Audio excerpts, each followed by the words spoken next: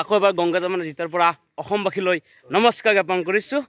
আহক আজি আমি এটা অদ্ভুত ভিডিঅ' আজি খুব হেপী কাৰণ ভাগ্য ভাগ্যবা ভাগ্যদেৱী থিয়েটাৰৰ আমি এক্টাৰেছ লগা লগ পাম। বা লগ পাইছোঁ অলৰেডি আপোনালোক দেখাম কিছু কিছু কথা আমি জানিবলৈ পাম আৰু কিছু ডাইলগ বা অভিনয় আমি আজি আপোনালোককো দেখাম লগতে আমিও শুনিম। লগতে আমি খুব হেপী আহক তেতিয়ালৈকে আপোনালোকৰ ভিডিঅ'টো চাই দিয়ক। নমস্কাৰ। পোন প্ৰথমতে আমি গংগাজমন জিতাৰ পৰাই আমাৰ কলাকাৰক আমি নমস্কাৰ জ্ঞাপন কৰিছোঁ। আমি আমি ভাগ্যদেৱী থিয়েটাৰৰ বলিষ্ঠ অভিনেতা তেখেতক এখন ফুৱান গছৰ সম্পদ জনাব। আমাৰ গংগাজমন ৰিজৰ্টৰ সত্য অধিকাৰী পেন তালুকদাৰ।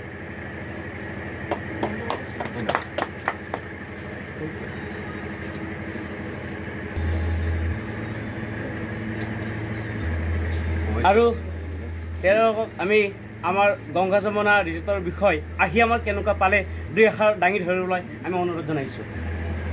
আমি এতিয়া আহি পাইছোঁ আহ, দাদাৰ আমন্ত্ৰণ ক্ৰমে আমি আহিলোঁ আৰু খুবেই ভাল লাগিছে আমি নাটকৰ মাজতে নাটকৰ নাটক কৰা সেই পৰিৱেশৰ মাজতে আমি যেতিয়া আমন্ত্ৰণ জনাওঁ খুবেই ভাল লাগিলে আমি আহিছোঁ এতিয়া আমি আমি সোমায়েই ভাল লাগিছে খুব সুন্দৰ এটা পৰিৱেশ গতিকে আমি এতিয়া উপভোগ কৰিম আমি উপভোগ কৰিবলৈ আগবাঢ়ি আছোঁ পিছত আৰু মতামত জনাম।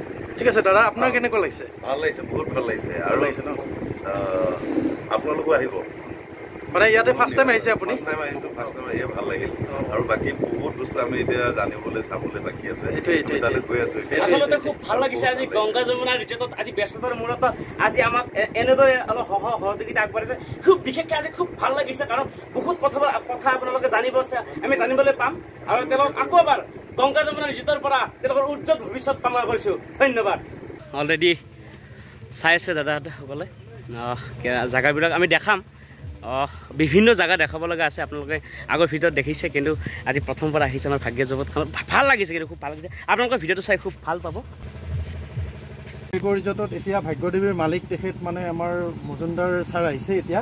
আমাৰ হেৰি মানে ছাৰে এখন গামোচা মানে ইয়াতে সম্বৰ্ধনা জনাব।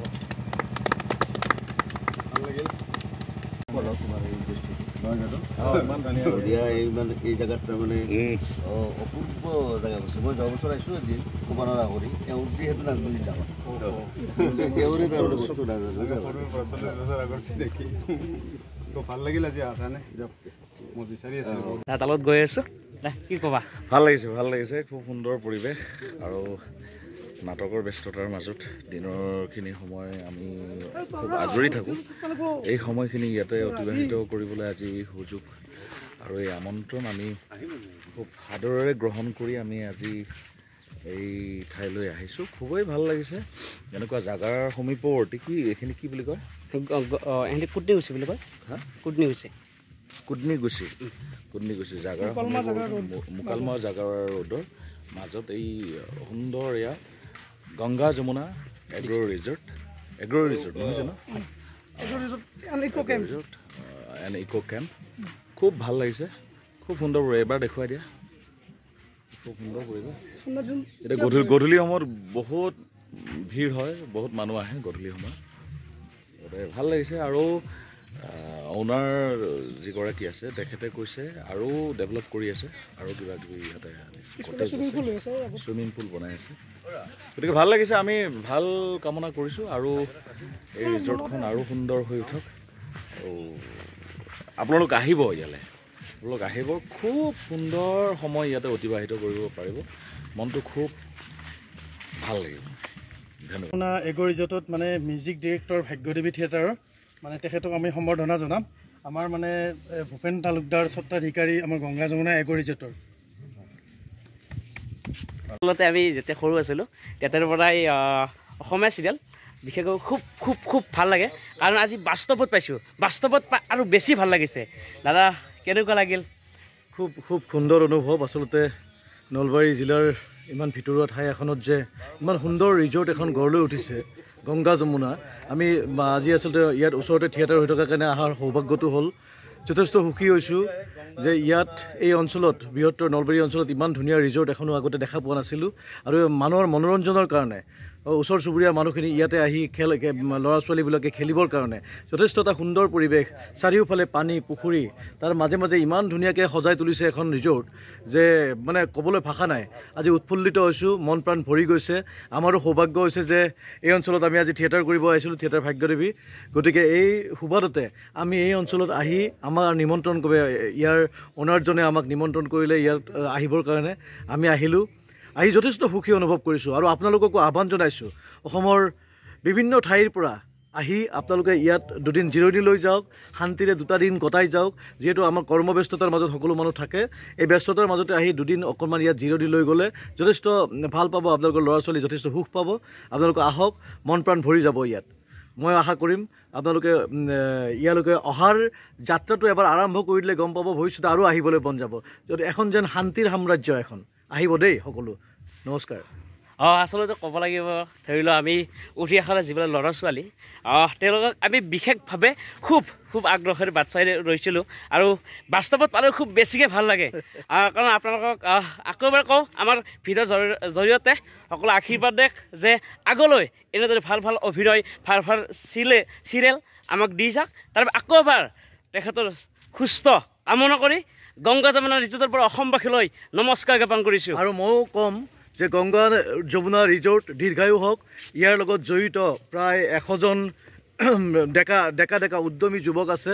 এইসকলৰ ভৱিষ্যতৰ কাৰণে এওঁলোকৰ এটা এওঁলোককো এটা আশীৰ্বাদ দিব যাতে এওঁলোকে ইমান সুন্দৰকৈ সজাই পৰাই ৰাখিছে গোটেই মানে পৰিৱেশটো।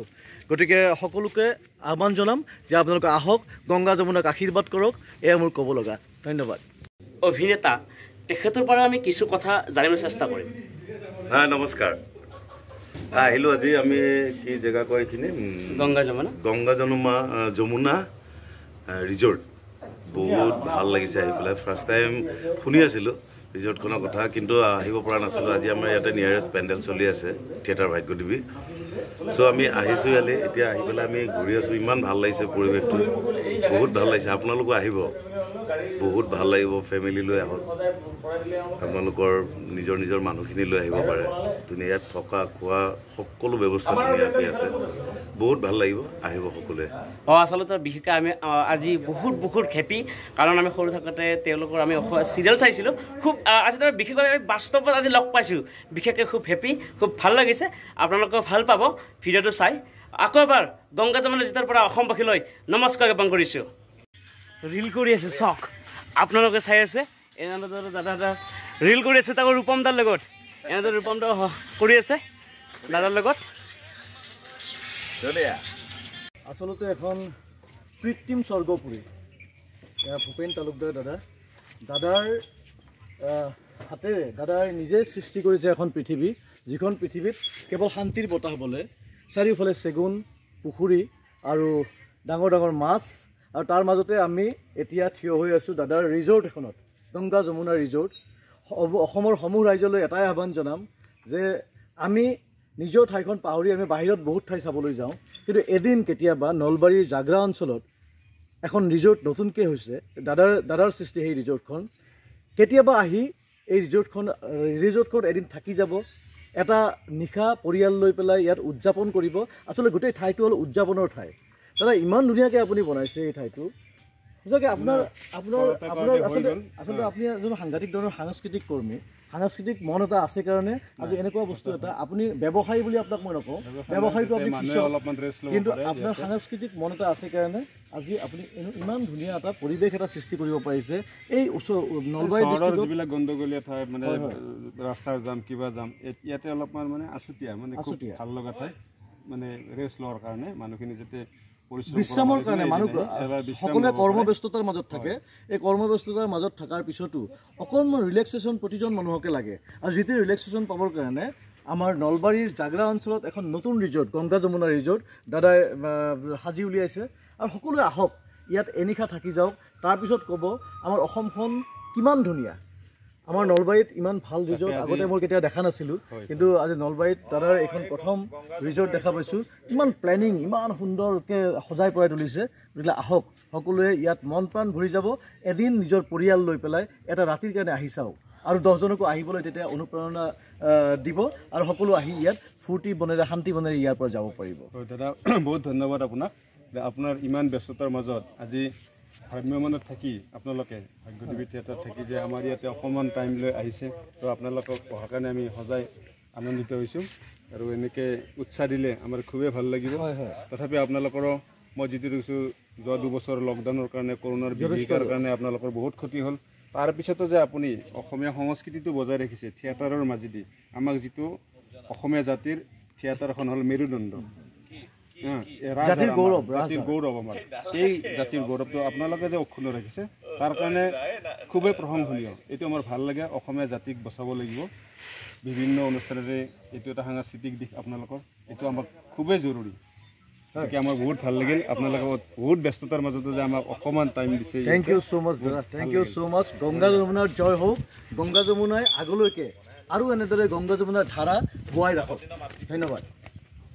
যে আমাৰ মাজত আজি গংগা যমুনা এগ্ৰ ৰিচৰ্টত ভ্ৰাম্যমান থিয়েটাৰৰ শ্ৰেষ্ঠ অভিনেতা মহী বৰাদা আমাৰ মাজত আজি উপস্থিত হৈছে। আমাৰ গংগা যমুনা এগ্ৰ ৰিচৰ্টত। তেখেতক আমি গংগা যমুনা এগ্ৰ ৰিচৰ্টৰ পৰা সম্ভাষণ জনাইছোঁ।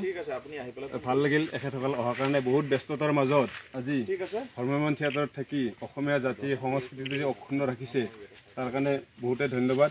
গতিকে তেখেতে অতি ব্যস্ততাৰ মাজত আমাক যে অকণমান ইয়াতে টাইম দিছে আমাক উৎসাহিত কৰিছে তাৰ কাৰণে আমি বহুত ভাল লাগিল।